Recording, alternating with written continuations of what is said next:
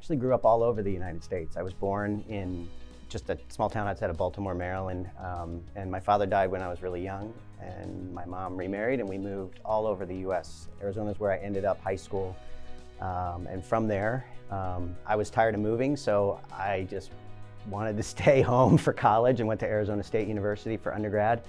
Um, I applied to the University of Arizona for medical school, which was just a couple hours south, and that's where I ended up. There was a lot of family in the military, so I took the Navy scholarship for medical school and they paid for that, which was great. 9-11 um, happened as I was interviewing for my neurosurgery residency. I was actually in the operating room at Johns Hopkins on a rotation there. Um, they shut down the whole hospital. Um, and it was at that moment that I knew for certain that I would be a military neurosurgeon. I knew exactly where I was going. And so um, I then did my residency at Walter Reed National Military Medical Center. Um, graduated from there, did a fellowship in uh, interventional neuroradiology and cerebrovascular neurosurgery at the Washington Hospital Center, which is part of the MedStar system in Washington, D.C. I was originally wanting to be a professional musician.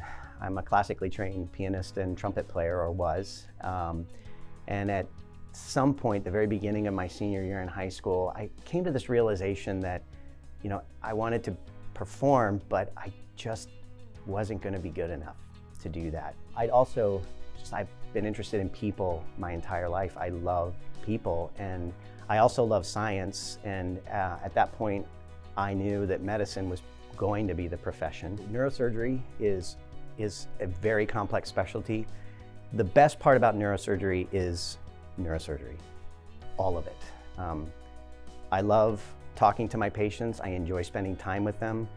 The physiology, the medicine, the pathology is amazingly interesting. Um, the pace is rapid. Um, you can go from clinic to the ICU to the ER to the OR, and then for me to the interventional suite, all in the same day. I've had the privilege of having the best patients in the world for the last 20 years. Part of the reason I came here um, is because of Avera and its mission, um, but also the patients, um, my wife is from the Midwest. The people are so nice and wonderful.